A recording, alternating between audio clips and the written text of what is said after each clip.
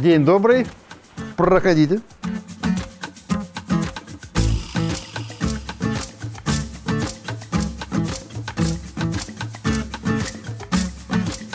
Ну что, можно начать? Когда я был маленький,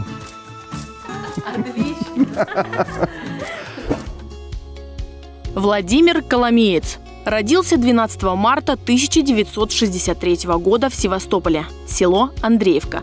Входит в реестр художников России. Организатор пленеров для начинающих художников любых возрастов. Любит писать пейзажи Крыма и Севастополя с натуры.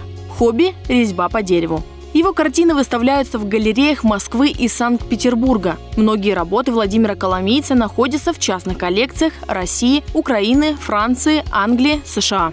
Дело в том, что когда я был маленький, лет 8, наверное, было, 12, где-то в этом периоде, 8-10, может, мне подарили краски масляные. И я, когда их открыл, понюхал, я понял, что знакомый запах. Я, ну, до этого я не сталкивался с масляными красками, художественными. Мы бегали по общежитиям, там, как-то забежал в комнату к дедушке одному, там, очень старый дедушка жил там. Мы что-то хотели его позвать куда-то. А у него на столе лежали картинки, и фотография девочки, как, девушки, и в клеточку расклеечена такая, и на картонке она же нарисована красками.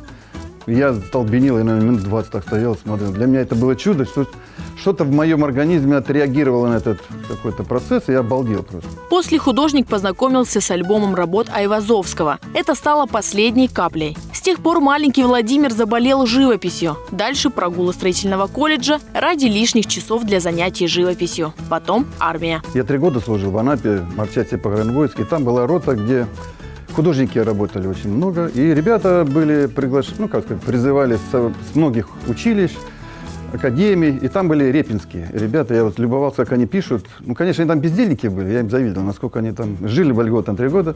Ну, когда у них были заказы по 20-30 портретов героев писать, вот они там, конечно, работали. Но я любовался, как это происходит. Я когда заступал на ряд, сутки там отстоял, я вот просто любовался. Там висели копии Айвазовского, Шишкина, потом Куинджи. Ну, я просто ну, щупал, трогал, как это написано. Я изучал уже. В этот период художник находился в поиске, много экспериментировал, пробуя разные стили. Долго не думал, в сердце откликнулся реализм. Понял, что именно этот стиль вызывает у него больше интереса. Чем посвятить себя после армии, художник понял сразу. Следующим этапом стало поступление в текстильную академию в городе Иваново. Когда поступил уже в академию текстильную, то там мне живопись не преподавалась вообще, там были декоративные начальное образование. А мне это не нравилось как-то. Я поэтому ушел в подвал. Академическая живопись, реалистическая, она успокаивает ум. Потому что когда человек смотрит на реалистическую картину, его ум знает это, и он раз усыпляется. Как только он смотрит на что-то абстрактное, ум возбуждается и начинает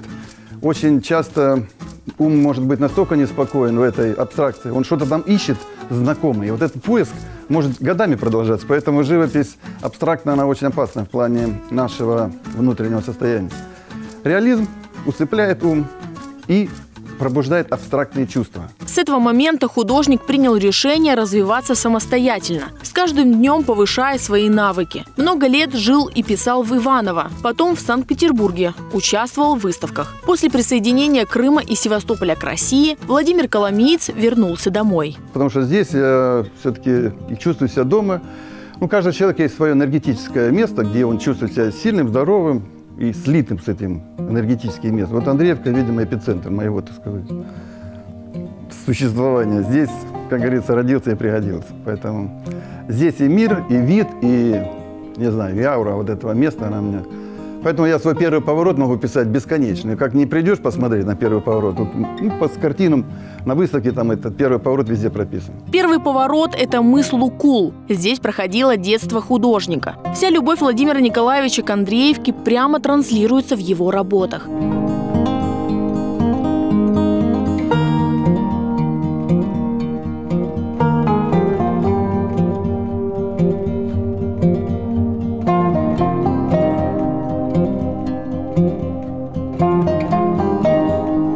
Вот давай, продолжай, да? Так, продолжаем. С детства эти дрова постоянно...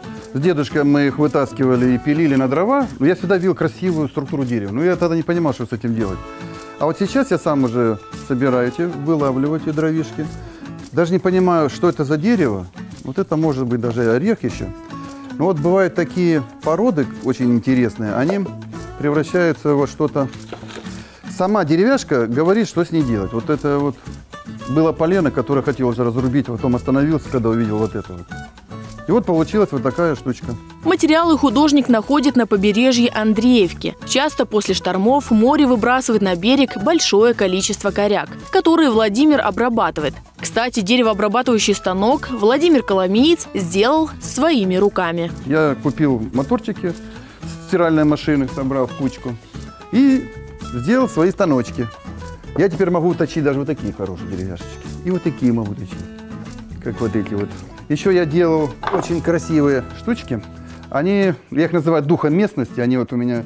Это грецкий орех, вот это лох серебристый, ну как эбонитовое дерево, прям черные, они такие темные, очень красивые вещи. Короче, я теперь болен этой темой, я не могу это спалить теперь в печке. У меня хорошая буржуечка сделана, но я уже не могу. Дрова рублю, все, как только есть что-то похожее на какой-то предмет, я его лучше выточу и все. Теперь с дровами проблема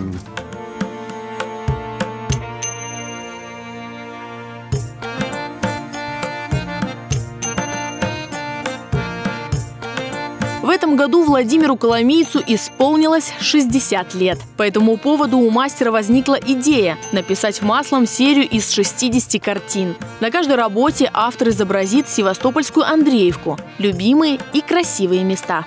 Я же говорю, да, уже по плану.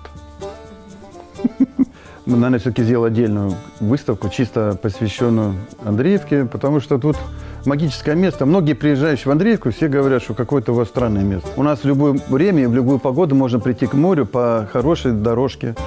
Ты просто, как говорится, насыщаешься вот этим природным ландшафтом, не застроенным, не замученным.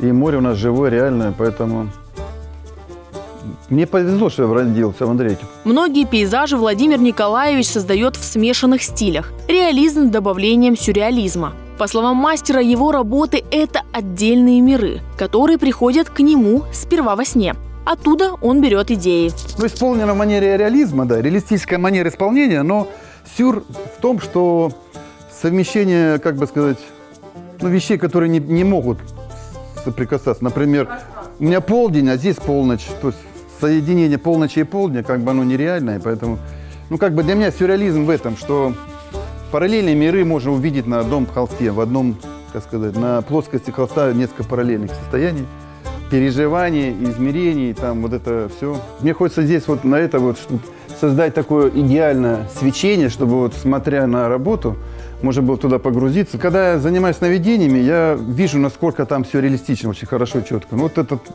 мир сновидений, можно сказать. Потому что у нас в реальности вот это место, Лукул, там нет таких лодочек, там нет домиков. Но я их туда вставляю, потому что я во сне это вижу, там есть. И очень интересный момент такой, что раньше у меня какая-то была фраза еще, когда я, почему я, что я пишу, какие картины, почему я их так вылизываю.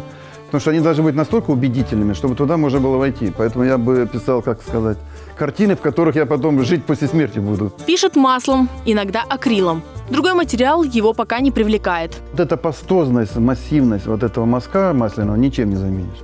Поэтому масляная живопись, она настолько интересная и богатая. Виртуозность в масле поинтереснее будет. Акварель, она виртуозы там шикарные, но масло это... Даже не знаю, с чем сравнить. Но масло круто. Владимир Коломиец стремится создавать не только картины со своими волшебными мирами. В ближайших планах у художника развивать свою школу живописи, участвовать в выставках, а также пополнять свое портфолио большим количеством портретов. Вообще художник, если вы слово художник перевернете, прочитаете сзади, как русский язык это подразумевает, смысл сзади записан, то это получается кинжал духа. Художник – кинжал духа. Поэтому художник является острием некого такого существа, я бы сказал, божественности, божество, ну как сказать, давайте так сказать, божественное через художника себя проявляет.